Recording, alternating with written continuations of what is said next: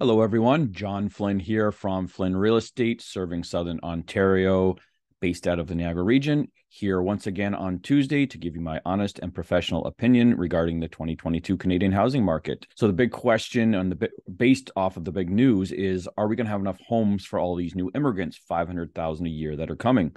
So, of course, I looked at the statistics, I looked at the data, and this is what I found. So, we're going to start with some basic facts. All the data is taken from Stats Canada, so the population data and the housing data, the housing starts and housing completions and whatnot. First off, let's look at the Canadian population.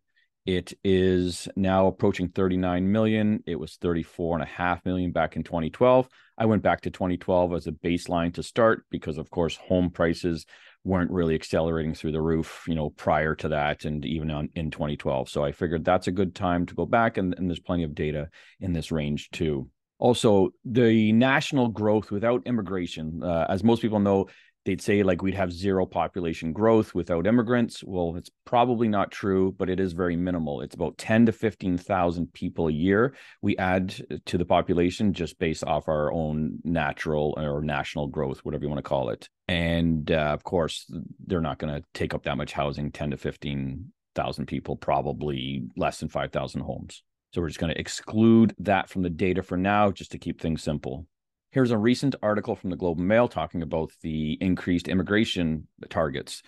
Ottawa's annual immigration plan aims to add 465,000 permanent residents in 2023, 485,000 in 2024, and 500,000 in 2025. About 60% of admissions will be in the economic class, which means they're educated, fill targeted labor and skill shortages, contribute to innovation, and can integrate into the Canadian labor market with ease, the federal government stated. So it's interesting. So 60% are in the economic class. I don't know if that's 60% of families or 60% of people, but regardless. So outside of that 60%, the remaining 40% would be spouses, partners, and children, parents and grandparents, refugees, and, and asylum seekers. And that's how they're made up, obviously. So yeah, now let's look at that data in the chart. The same chart, I've just added some numbers in just to refresh 2019 341,000 immigrants 2020 184,000 2021 405 2022 470 and there is the predictions for 2023 to 25 i've broken it out with the economic class i'm not going to include this in the data uh, going forward i just wanted to point it out that if it's 60% those are the numbers per year that actually are in that economic class and potentially home buyers so now let's move on to the housing data and see what that looks like. We have the Canada housing starts, the quarterly figures. And so these numbers 39,000 on the left up to 62,000 those are the quarterly figures per year. And so I just picked some years that were kind of representative of the lead up to today I think actually 2019 was more of an average there. You'll see it.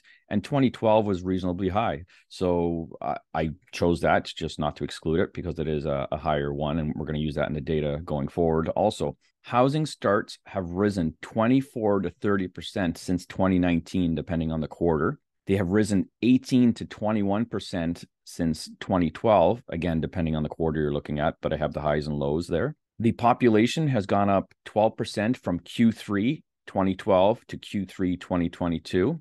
And I'd also like to make an argument that we didn't have a supply issue when it came to housing in 2012, 2013, and 2014, and many years prior and after that, too. Okay, now moving on to the completions, the housing completions. Uh, I guess you could argue this is the number that really matters how many homes are completed, right? So here we have 2012, we had just over 180,000 homes completed in Canada for the whole year. This is not quarterly. The points, the data points are quarterly, but the, the top there is for the yearly. The 2019, we had 187,000.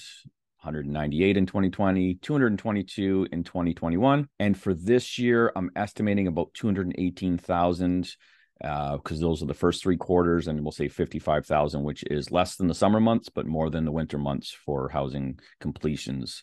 So just some extra stats on these numbers also. The housing completions increased 23.5% from 2012 to uh, 2021. I can't use 2022 because they're not finished yet.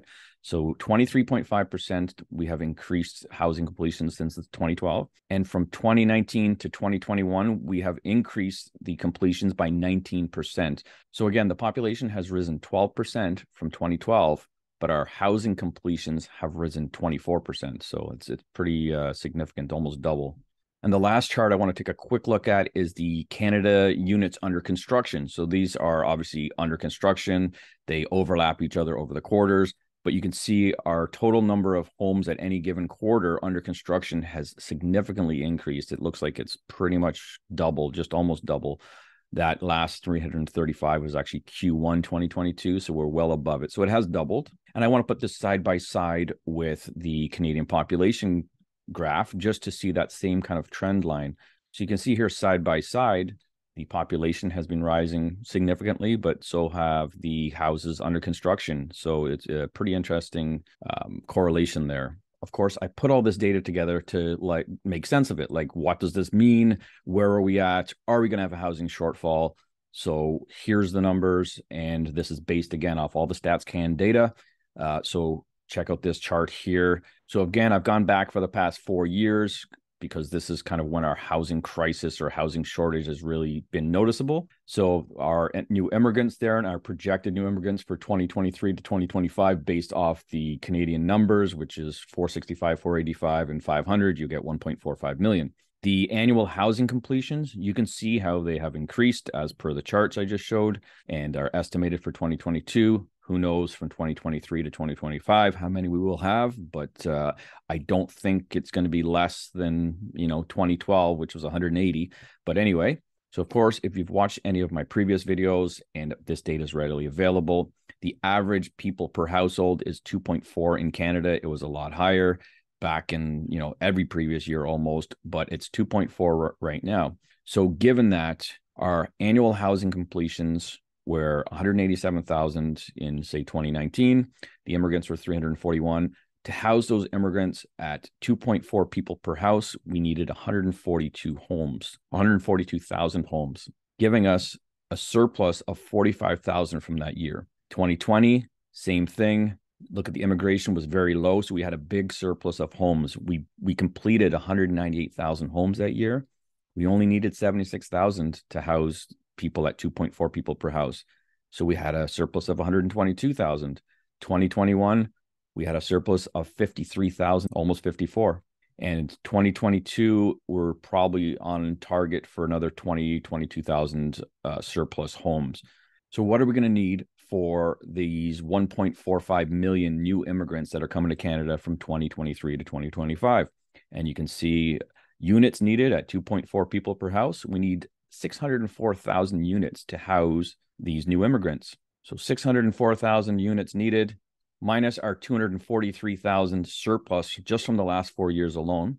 We're at a shortfall of 360,000 homes from 2023 to 2025. Well, let's go back and look at our housing completions uh, chart. So, our lowest completions in decades or in a decade, I should say, was 180,000 per year. I could add up the other years, but it's going to be very similar. Maybe it's 170 or 160,000.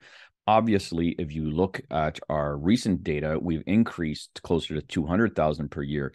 But regardless, we need a minimum of 120,000 new units per year to house the increase in population. It's very simple math, right? Uh, if you guys disagree or if you can tell me I'm missing something here, but it's uh, I've, I've presented all the data and this goes back to that same argument housing supply and demand, and where we have a, a shortfall of houses. I just don't think it holds merit. I didn't think it held it before, and I proved it with numbers.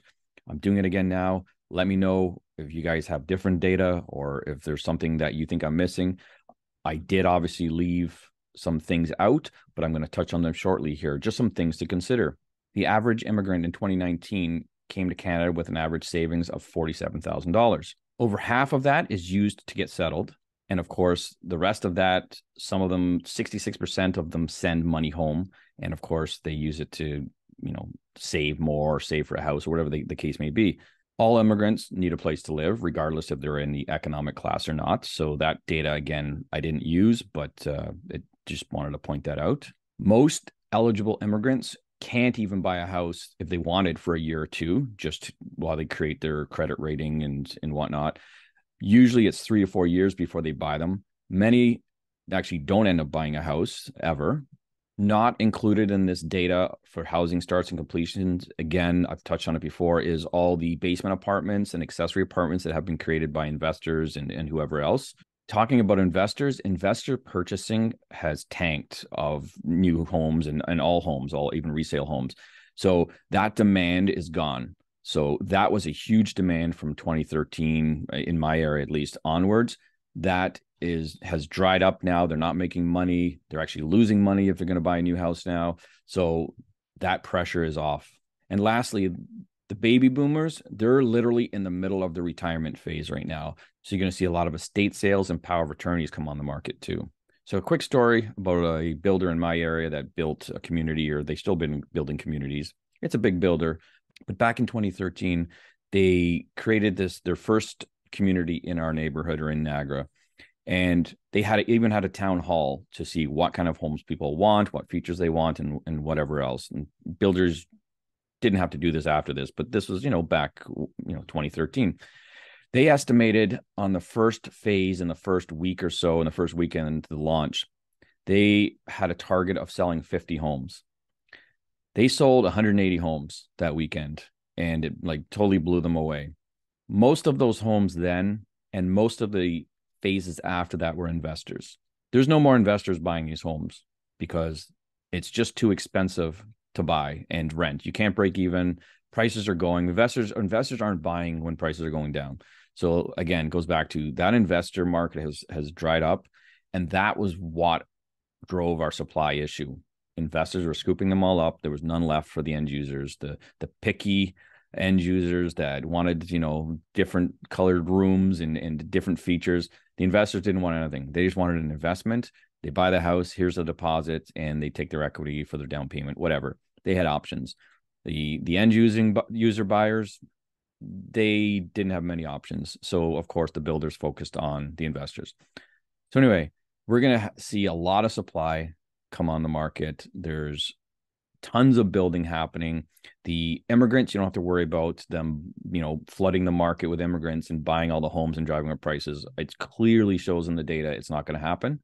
But again, let me know your thoughts and comments below. Uh, like this video, share this video, and I will see you next week.